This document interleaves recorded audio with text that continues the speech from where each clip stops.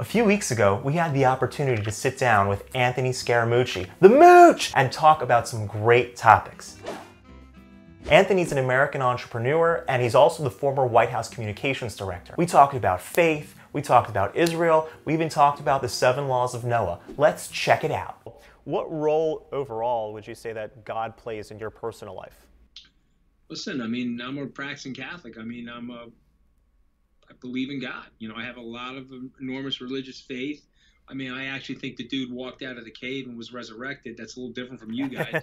you guys laugh at us for believing that, but uh, I grew up with that. Uh, I'm confident in my religious views, and they're, but they're my religious views. They're personal to my story, and they're things that I've shared with my family. I'm happy to talk about it with you if you ask, but it's not something that I'm sitting out there proselytizing. But I have a tremendous amount of faith in God, and I have a tremendous amount of faith in. Uh, you know, trying hard to do the right thing, but also accepting that, you know, there's a whole phone book of flaws that I happen to be sitting on that are, are my flaws. And so I'm not sitting here with any righteousness or sanctimony about my religious faith. I'm just telling you that uh, I believe, I have a strong faith. That's, that's certainly the beginning of, of it all. And it's such a great thing to hear um, someone who has such strong faith being in, um, you know, being a, high profile individual. So you would consider yourself a, a strong backer of Israel. Has that something that's always been important to you, or is that something that like evolved with you over time, or that, or it's been pretty standard? Well, I, you know, listen, I mean, I had, uh, again, I grew up in a, in an area where there were, uh, you know, a lot of Jewish families, and uh, right. I don't I don't want to give up the last name of the family. I don't know if it's appropriate, but uh, one of my uh, friends who was a girl, not a girlfriend, okay, uh, invited her father into our 11th grade social studies class. We were taking European history, and uh, he was a Holocaust survivor. And hmm. so he, you know, one of the seminal moments in my life. I'm literally 16 years old, tapping my leg, trying to get out of class to go take my learner's permit. Okay. Her father descends on the class and tells one of the most riveting stories that I've ever heard in my life about his time in a labor slash concentration, you know, camp of terror. Mm. He had was a young boy at the time, and he had indelible ink on his arm, and he talked about the deaths, and he talked about having to acclimatize himself to literally piled up bodies of uh, of dead people, many of which were neighbors of his uh, in the town he grew up in, and so you know, when you learn the stories and you see it for for what it actually really is, and you can actually talk about it for what it really is. Okay, that is uh, man's inhumanity to man. And so, if you don't stand up for it, I mean, there's cliches out there, and I can't remember all of them, but one of them is is that evil uh, lurks where innocent, kind people fail to act, and so. Right uh, I think we have a duty to stay on watch for things like this. You know? Well, that that's certainly true, and we certainly appreciate all your support for for Israel, for the Jewish people um, as a whole. Just a completely random question: Who was the first person to call you the Mooch? uh, Paul Montoya, uh, 1972, in the second grade. Oh, okay. Oh, so you remember clearly. Yeah, so, you got it. Oh yeah, because my last name Scaramucci. Right and so these kids used to call me Mooch. And that just it just stuck with you even through your businesses, political career, everything. And and been called Mooch my whole life, you know. And so it's interesting, like the liberals love it because it's apparently a mooch is a pejorative, like right, you are mooching off, um, right, right. I like to tell people, if you really knew, okay, I really should be called mooched because I've been mooched my whole life, right? But that's fine. But I mean, listen, I, I, I don't, I don't mind it at all. I mean, something that's been with me for my entire life, you know, since I was like seven or eight years old. So, you know, if some people like to turn it into a pejorative from a political perspective, they can do that. But they're not going to silence me. You know, they can try to disfigure me, they can try to comport me, they can use Italian American stereotypes right. and all of this nonsense that I've heard in my I'm life. Sure. It's totally I'm fine. Sure. But they're not going to silence me as long as I have a voice and I'm above ground. And that way, I'm like a lot like a Jew. You know, like these cliches where they can take the gold out of your teeth, but they can't take the education out of your brain. You know, go go fill your brain with education. I mean, they can end your life, and then your brain dies with your body. But you know, you, as long as you got your education and your mind, I'm going to be in up for the fight. For sure. You know, I, I like taking these cats on, by the way, because they they're typically going to underestimate a guy like me. You know, they're not going to think I'm as well read as I actually am. So I like cutting them with a buzzsaw. You know? no, and we, we all we definitely all enjoy uh, we, we, we enjoy watching the show as well.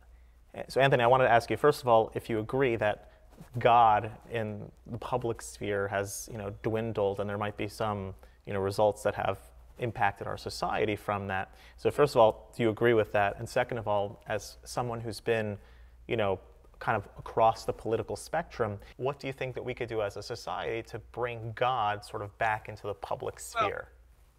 Well, well I mean, listen, I mean, this is just my observation of our culture. Um, we've gotten smarter from a technological perspective and from a scientific perspective and from a medical research perspective. And so it seems like every time the civilization gets a little bit smarter, uh, there's a large group of people that get very smug as it relates to God and the belief in God. And so I sort of laugh at the atheists because they actually have a belief as well, right? They have a faith that uh, something doesn't exist, where perhaps maybe you and I believe in the faith that something does exist. But, you know, um, we owe the Ju- Judeo concepts, the Jude- concepts of Judaism, really for m- leaping the world forward from paganism mm. into monotheism, which sprung from that all of the major science, all of the major technology. Once we stopped our superstition of worshiping many gods and focused on one benevolent God, uh, the world seemed to come into order. So for me, bizarrely, that's like more evidence to me that there is one. And so I think what ends up happening now, it's sort of hip and cool for younger people not to believe. Uh, because it makes them look like you know well look I'm I'm smarter than the jamoke that believes, you may or may not be smarter. But but what I have found is that I think it's and for me it's I think it's part of my biological design. You know, I didn't choose my sexuality. I didn't choose my belief in God, but I do feel it. I feel God's presence in my inner fiber. And so I think a lot of people, a lot of Americans feel that way. Some of them don't. But I think the ones that don't are more uh, uh, becoming tone deaf to their own spirit, becoming tone deaf to their own identity, and they're trying to fit in to whatever it is that they think is cool, you know. And so that'll last for a period of time. But even after every major technological leap, uh, people turn back to their faith. You know, I I think of uh, you know I don't know what you know about Russian history or the Soviet Union, but I think about the move to atheism there and its eventual repeal. Uh, I think of what Stalin once said: "What of the Pope? He has no armies." Mm. Uh, and then we mm. discover that the Pope is one of the most powerful people in the world because he has his faith. You know, if you think about what John Paul II did in the helping to roll back the Iron oh, Curtain, yeah. this comes from faith. Sure. So, me, sure. me, I do believe that this thing goes in cycles. Uh, we could be on a secular downturn with some of the youth right now, but my prediction is is uh, you know, they, they have an expression in the army that there are no atheists in the foxholes. Right, right? absolutely. So to me, you know, people get back to their faith, you know, and we're on a journey here. Uh, it's an uncertain journey. Uh, and I think uh, one of the compasses for me, one of the real anchors, has been my faith. That's, this, is, this is all great stuff to hear. And, and first of all, I, I agree with you um, on, on your, certainly on your perspective as far as um, the, the role of religion and the role that, that, that Judaism played, but after Judaism, that the, that the growth of Christianity and Islam played in sort of shaping the world from this completely paganistic society into a mm-hmm. world that you know was gradually moving towards you know a greater monotheism and even you know from, from a Torah perspective from, from a Jewish perspective it's interesting because one of the things that we believe as Jews is that you know Christianity and Islam have a role in sort of like the shaping of the world in, in that very sense that you just said of, of taking you know a, a large population of the world that was engrossed in the worst type of behavior and you know gradually moving them away to a belief in you know God and free will and reward and punishment and so you know the basic tenets of morality that that are that are found. And, and one of the things, you know, in, in Judaism, I, I, I, always was fascinated by was was this idea that it's not like an, a my way or the highway type thing. It's not if, if you're if you don't believe the Jewish way that you're you know damned eternally. That there is sort of a place for for everyone in the world to come. And you know when, when we think of heaven or the afterlife or you know the future world that comes with the messianic redemption, one of the things that we believe is that if you are not Jewish but you live an upstanding moral life and you keep what we call the seven laws of Noah, which, are, which was the basic code of morality that was given to Noah after the flood, if you keep those basic tenets, then you have a share in the world to come. If, if you're doing, if you're obeying God's law because God said so, we, we don't think that you have to be Jewish, and we, we're like, you know, we applaud you and, and say that, you know, for sure you're, you have a place with God. Um, it's kind of like two paths up the same mountain type thing. Well, I like to tease my Christian friends and tell all of them, including myself, that we're half Jewish because at the end of the day, we've accepted the Old Testament, which is more or less your teachings, and we have a New Testament. So I like teasing my friends. But listen, you know, at the end of the day, um, there's one universal symbol that seems to work in all societies, and that is love sure. and peace. And so uh, when we search for love and we search for peace, uh, we find our communion with mankind and with each other. When we're going after each other, uh, you know, it can be destructive. It could be it could be unnecessary. But then, you know, the fight starts because someone started it. You know, like one of the things I hated about Washington is they would pull nefarious, you know what, on you, and then now you've got to respond to them, and then you're going to pull nefarious, you know what, on them. Okay. and then all of a sudden you become them. So you see, I didn't want to do that, right? That's why I'm more into the front stabbing category. I'd rather come right at the people and then do all of this sort of nefarious stuff, you know.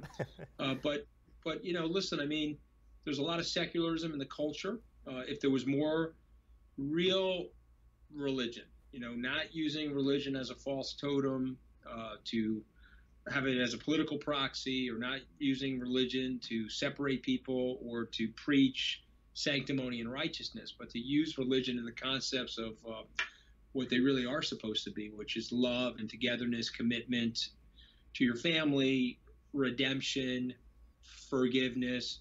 These are the concepts that we need to really make the society binded. So, so for me, you know, um, I've been around the block a few times, man. I grew up in a middle class family. My parents didn't go to college. I went to some pretty decent schools, got myself educated, built a couple of companies, had a small, very short foray into politics, as measured by my time in the White House, 11 days. But really think about it, I was presidential campaign for two right. years. so I have a, a uh, an awareness now I didn't have before, but it still all comes down to trying to row the boat together as opposed to against each other.